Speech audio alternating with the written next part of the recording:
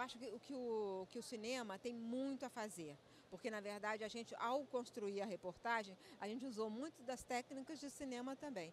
E eu acho que o cinema tem, uma, tem nesse período tão mal contado da história do Brasil uma, uma grande matéria-prima para recuperar os fatos e contar e passar a emoção que foi viver aquele período. Por quê?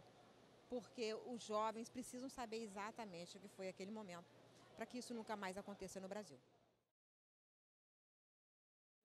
Eu, tomar, é, eu achei excelente a ideia de criar um, no Fest Rio, no Festival do Rio, um espaço para a Globo News, porque é uma chance rara que a gente tem, né?